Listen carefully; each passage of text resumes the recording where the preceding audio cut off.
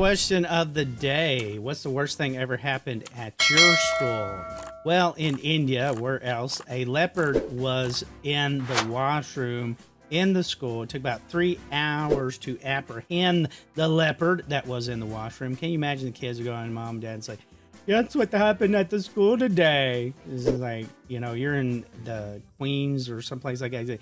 Hey, mom, uh, Freddie went and stabbed Johnny in Brooklyn. In India, they're like, don't say shit about tigers. Order it up, dude. Order it up, dude. One guy got a tiger, and his neighbor's like, I didn't know we'd get tigers. And he got two tigers. And the first guy was like, I ain't about to let this faggot out tiger me.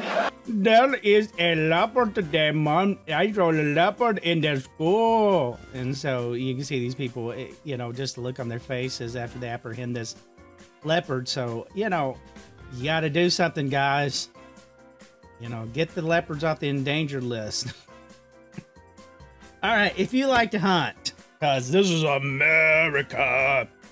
You can go online and get your hunting needs, guns, bows. If you and in America, we can hunt leopards. So thank you for subscribing, liking, and sharing right here on the Coconut Daddy channel. Happy 4th of July, folks. Who's your daddy?